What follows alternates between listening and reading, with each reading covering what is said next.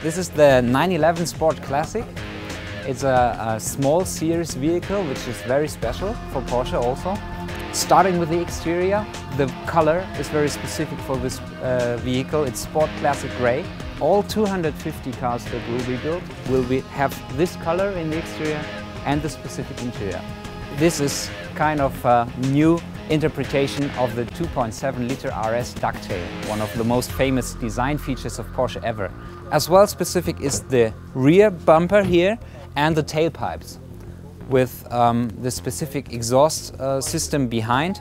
And if you go around the car, you see also the wheels, which as I said is also a new interpretation of a classic Porsche design feature. The tall drivers had problems driving the cars with their helmets on. So they put bubbles into their roof, first one and then two, to make it symmetric. We have a complete new front apron with a spoiler lip that is specific. And a very nice detail is the headlamp with a black ring. This is a detail that you might know from the 1974 Turbo RSR. We have two brand new materials here.